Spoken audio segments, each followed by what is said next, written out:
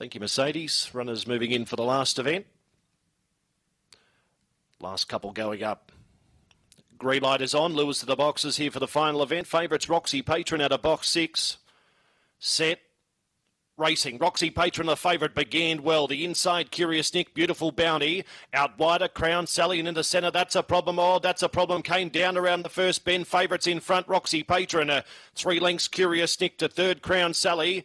Further back in the field, then Beautiful Bounty, and that's a problem. Came to grief around the first bend. Favourite in control, uh, Roxy Patron. Curious Nick looks like a big danger though. And third, Crown Sally as they move up towards the bend. Roxy Patron taken over by Curious Nick though. Dash to the front, Curious Nick. It's all Curious Nick from Crown Sally, Roxy Patron. Uh, fourth, Beautiful Bounty.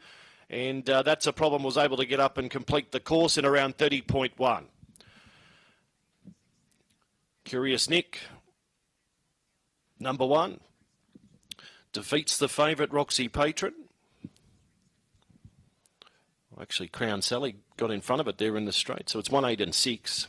30.08 is the time. 30.08, 1 8 and 6. 186 after the final event here this afternoon.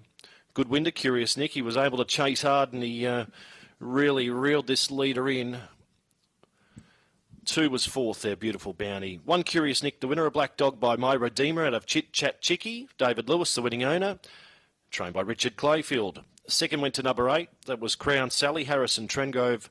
The trainer It was a good run, came from midfield.